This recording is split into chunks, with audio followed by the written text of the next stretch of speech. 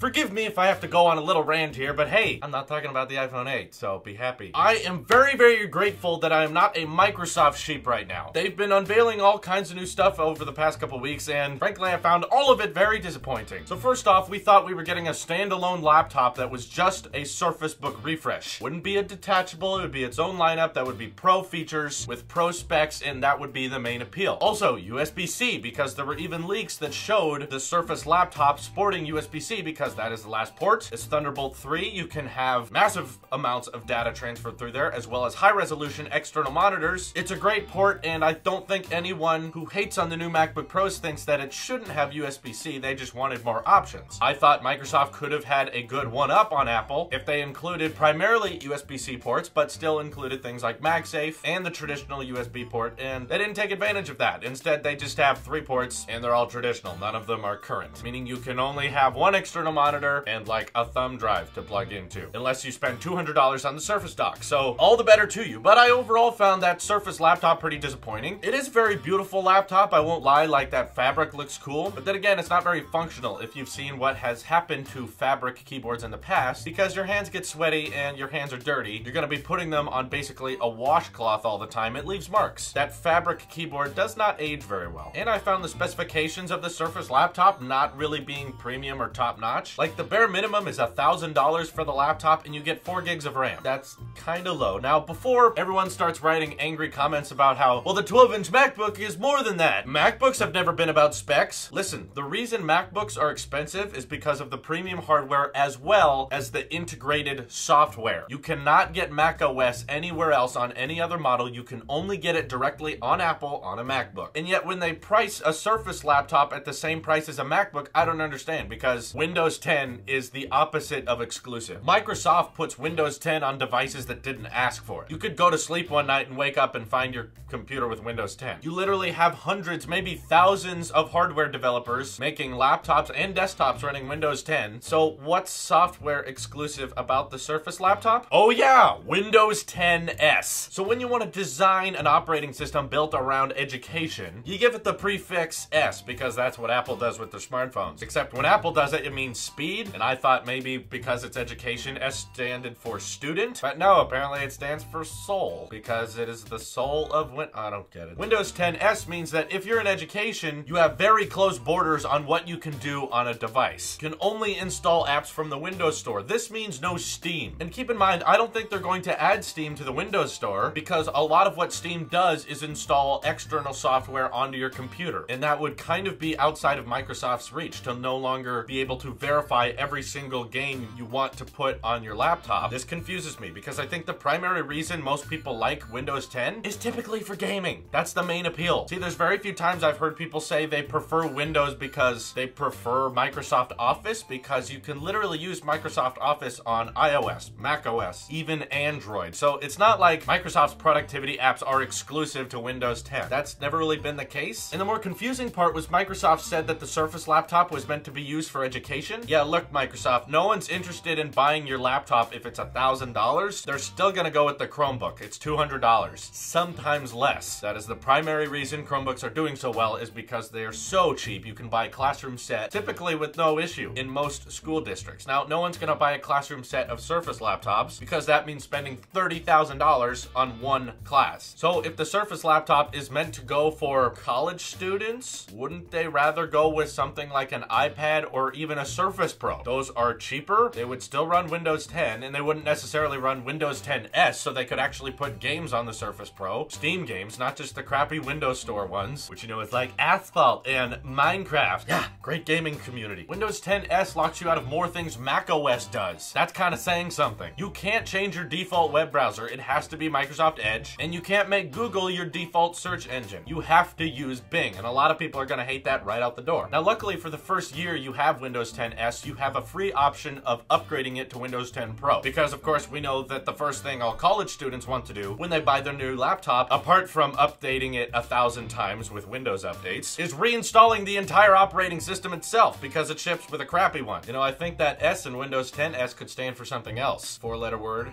starts with an S.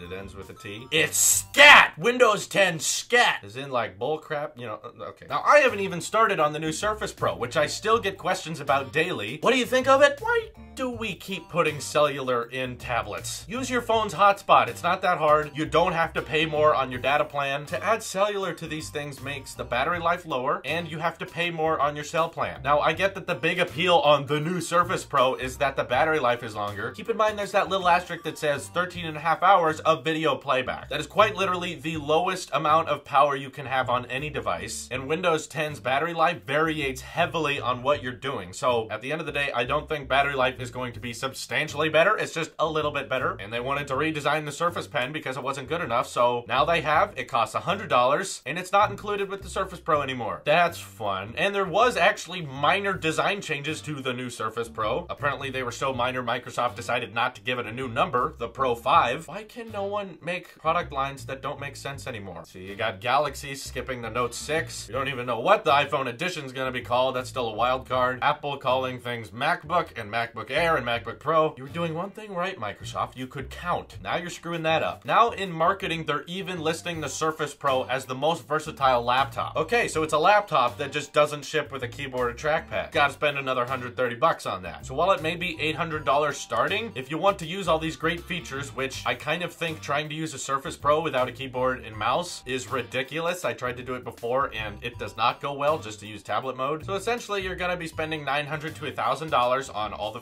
features they're trying to advertise it with. And again, I just don't understand Microsoft's hate for USB-C. That is the port of the future and they're very focused on having MagSafe, but I don't understand why you can't have MagSafe and the greatest port we have currently. Give us users a couple more options, please. I'm only asking that because it's Microsoft, and Microsoft is all about options. If we were talking about MacBooks and iPads, the story would be completely different because Apple is about perfecting things, not providing options. The most exciting thing I think Microsoft has going for it right now is the constant teasing of Xbox Scorpio. I'm really excited to see a console that is actually as powerful as a gaming PC. I think that's changing the game a little bit, and I'm very curious about it. But other than that, I am just so glad I am not part of that ecosystem because because it is embarrassing what they're doing right now. So I probably pissed off a bunch of you. Go ahead and rant in the comments below, and I'm sure we'll have a very civil argument where we can learn a lot about each other. This is your Apple Sheep here, and I will see you in the next one.